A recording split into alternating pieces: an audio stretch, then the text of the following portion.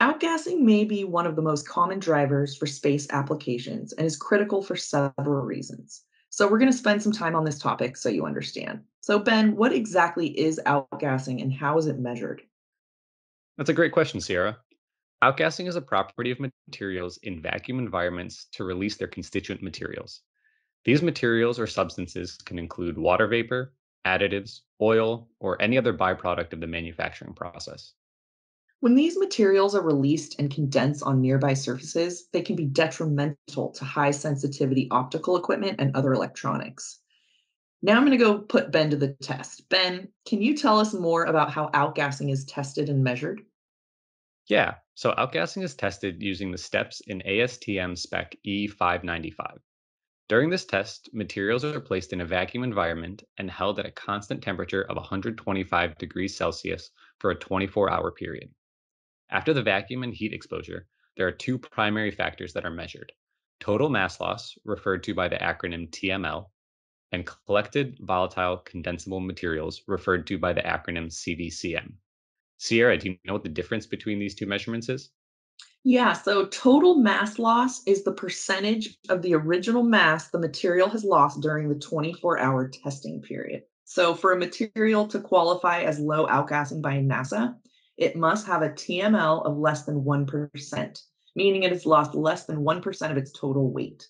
CVCM is the percentage of total weight of the material that has condensed on a specially designed condensing plate and must be less than 0.1% of the initial material mass. Before testing, some materials can undergo a process known as post baking to help them pass outgassing.